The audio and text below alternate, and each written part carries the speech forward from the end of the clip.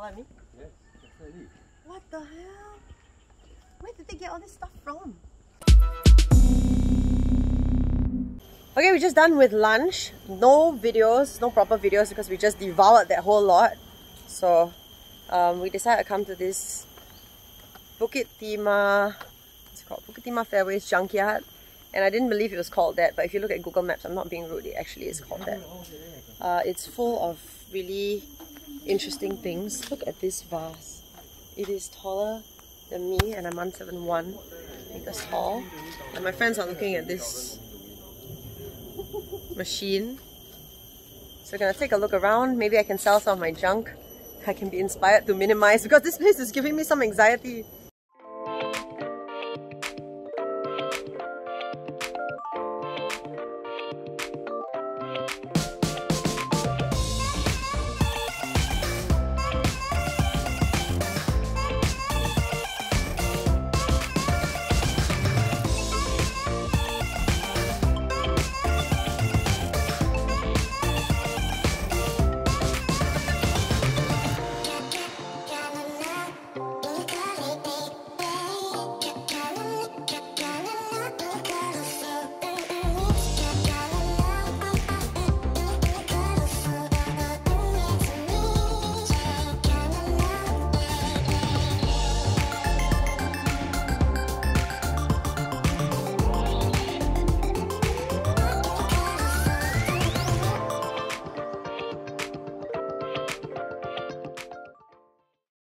We just got inside. That was all just the outside and it's really, really overwhelming.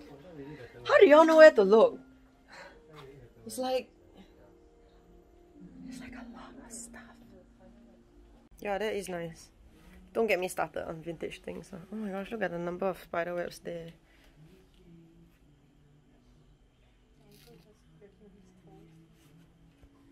This is a reminder to myself to not be a hoarder.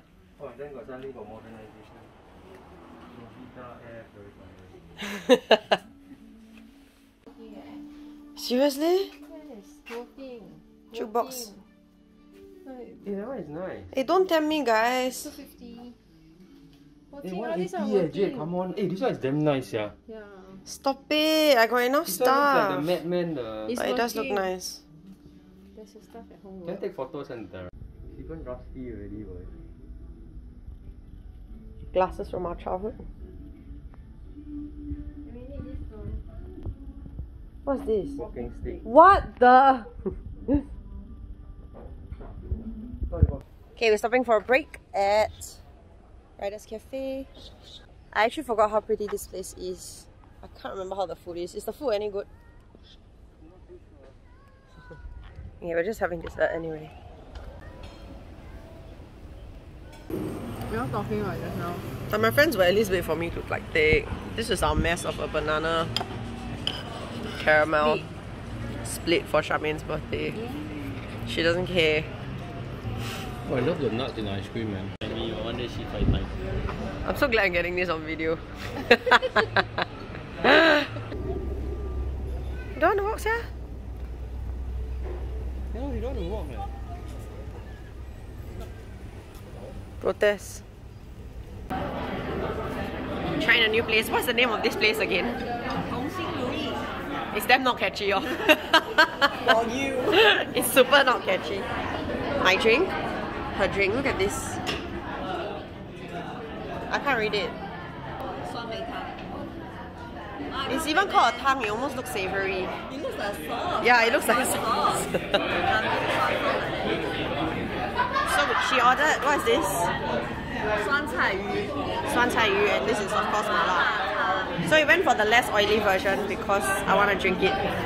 This is not a sponsored post. It's not, it's not, it's not. Just got views.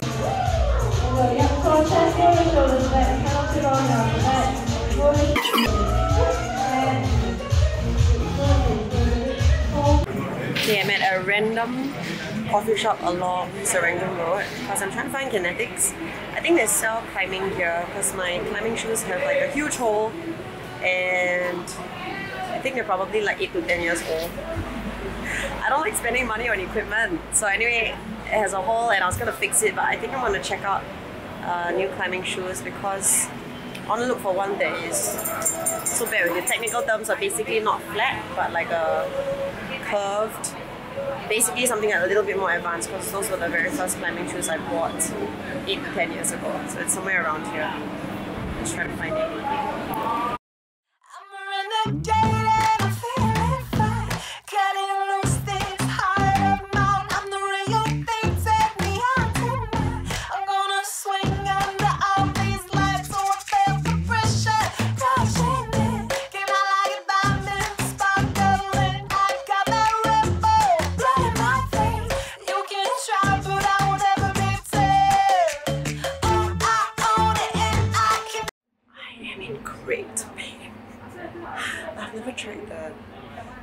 downturn shoe and it is so freaking painful like shockingly uncomfortable. Really really. Okay, so I tried on a few different pairs and uh, honestly, I think I might die if I, I tried the downturned one as some of my friends advised me to do and it's really too painful. Like I feel like I'm gonna die or cry on the walls. Also, I'm probably the most common female size, which is 38.5. So a lot of the 38.5s were sold out. I tried on um, 39, which was too big, and I tried 39 men's, which was way too big, like just too roomy. I guess their feet are not as bony.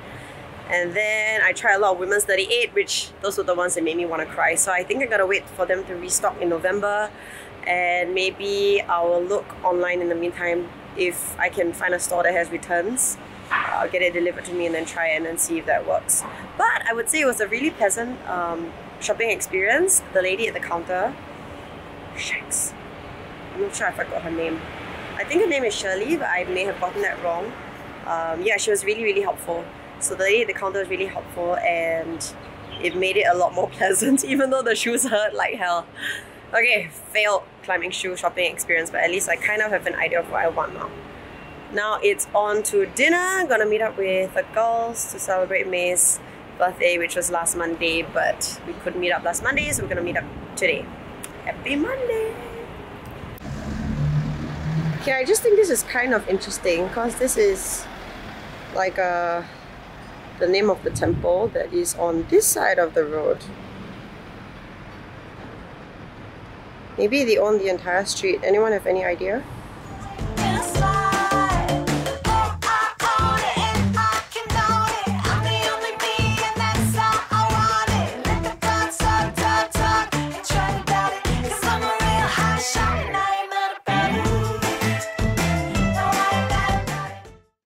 So just walking around this Serangoon area, because I actually went to Decathlon to see if the shoes there were cheaper.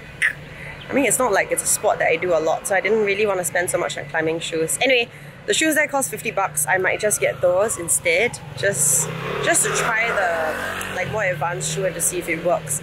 So I'm walking back to the car and I realized like I'm along BT Road, but it's very interesting because BT Road is split up into three parts. Let me show you. So this is BT Road, right? So then that's this road here, that's BT Road. But then down that way, that's BT Road as well. So that's BT Road. But then here is BT Road as well.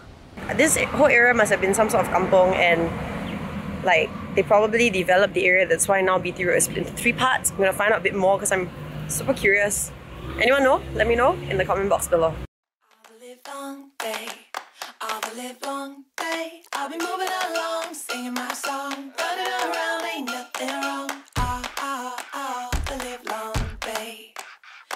All Baby got her shoes on, she wants to move. Looking for trouble, honey, is it you?